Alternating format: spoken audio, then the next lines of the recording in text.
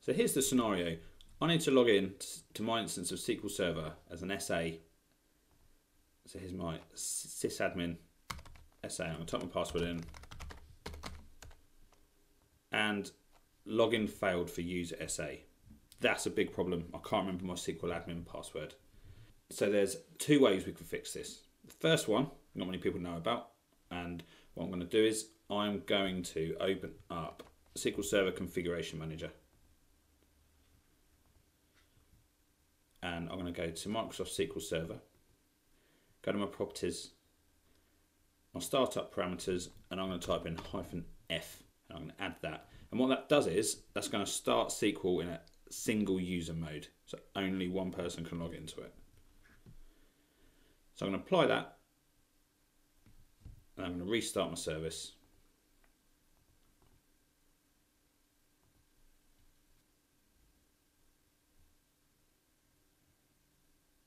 And here we are. Now, here's the thing. If I go to computer management, I'm going to check on my local instance. So if you're in a workplace environment, you'll need to log on to the server to do this. I'm going to open up the local administrators group. And if I'm in here, I'm going to have admin rights on my local instance of SQL Server, which I have here. So I'm going to shrink this down, close this down, close this, cancel off this, and I'm going to connect up here.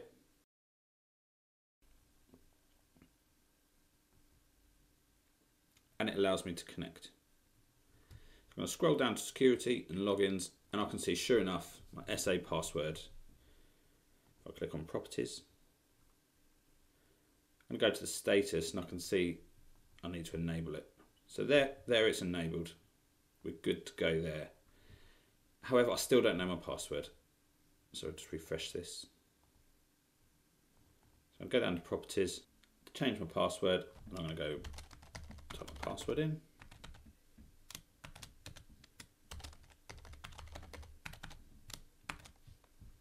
And click OK.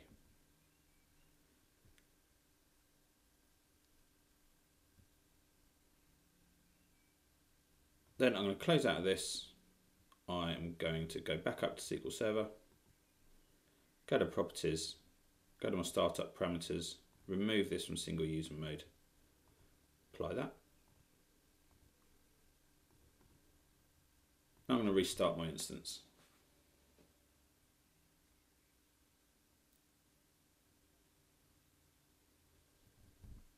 Close this. And when I come to here, I'm going to log in. I'm going to use SQL Server Authentication, use the SA, and let's use this new password.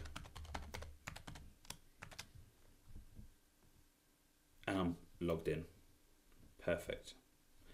The other alternate method we can do here is if we've got another account, so uh, this is my other account here, and this will be an SA as well.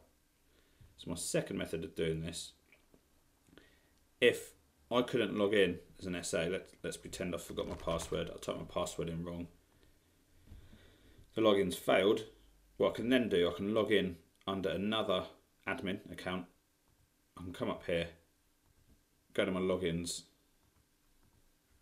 go to properties, and I can change my password.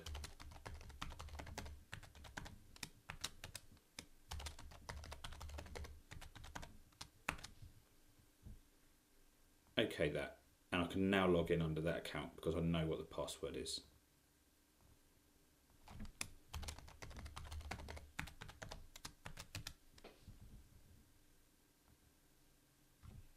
That's a really simple way to reset or enable the SA password on SQL Server if you happen to have forgotten it.